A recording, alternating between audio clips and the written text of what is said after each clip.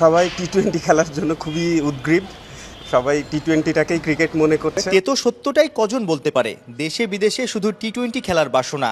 Shortcut রাস্তায় গেলে মেলে গ্ল্যামার, ফুলে ফেপে ওঠে ব্যাংক অ্যাকাউন্ট। সে কারণেই নাকি লাল বলের ক্রিকেটে ফোকাস কমে যাচ্ছে ক্রিকেটারদের। টেস্ট আর ওয়ানডেতেও একের পর এক ধাক্কা খাচ্ছে টিম বাংলাদেশ।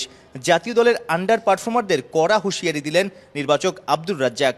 ন্যাশনাল টিমে খেলে ন্যাশনাল টিমে খেলার থেকে বড় তো একটা ক্রিকেটারের আর কিছু নাই। ইভেন টেস্ট ম্যাচ খেলা থেকে বড় আর একটা ক্রিকেটারের কাছে কিছু আছে বলে আমার মনে হয় না। তো এটা না অটোমেটিক প্রসেস আপনার যখনই কেউ একজন এসে পিছে নক করতে থাকে ডোর তো যে ভিতরে থাকে সে অলরেডি বুঝতে পারে।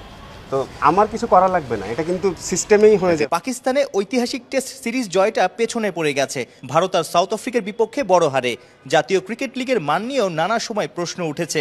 কোয়ালিটি ক্রিকেট আর ক্রিকেটারদের ঘাটতির কারণে অতীতে এনসিএল এর পারফর্মাররাও টেস্ট ক্রিকেটে নেমে চোখে সর্ষে ফুল দেখেছে। এবার কি লিগে খেলার মানে কোনো পরিবর্তন এসেছে? এনসিএল এর খেলা কাউন্টি ক্রিকেট বলেন অস্ট্রেলিয়ার ফার্স্ট ক্লাস বলেন ইন্ডিয়ার ফার্স্ট ক্লাস বলেন আর টেস্ট ম্যাচ আকাশ পাতাল পার্থক্য। এটা কখনোই এক হবে না। আর আমাদের দেশের ওই মানদণ্ডে টেস্টের সমমান- তো নেওয়া সম্ভব না বাট যত কাছাকাছি নেওয়া যায় লাস্ট বেশ কয়েক বছর ধরে কিন্তু আমাদের উইকেটে বেশ ইমপ্রুভ হয়েছে। যারা মাঠে যান আমি শিওর যে তারা দেখছেন। এবং বলও চেঞ্জ করা হয়েছে যাতে আরও ডিফিকাল্টি ফেস করতে হয়। ইভেন আমাদের ফার্স্ট বোলারদের প্রমোট করা হচ্ছে।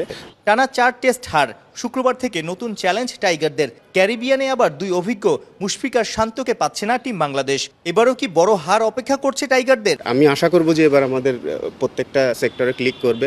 লাইক পাকিস্তানে যেমন হয়েছে আমরা আমাদের ড্রিম টেস্ট সিরিজ খেলেছি। তো আমিও আশা করব যে ওয়েস্ট ইন্ডিজে আমরা ওইভাবেই শুরু করব এবং ওইভাবেই খেলে ফিরবো।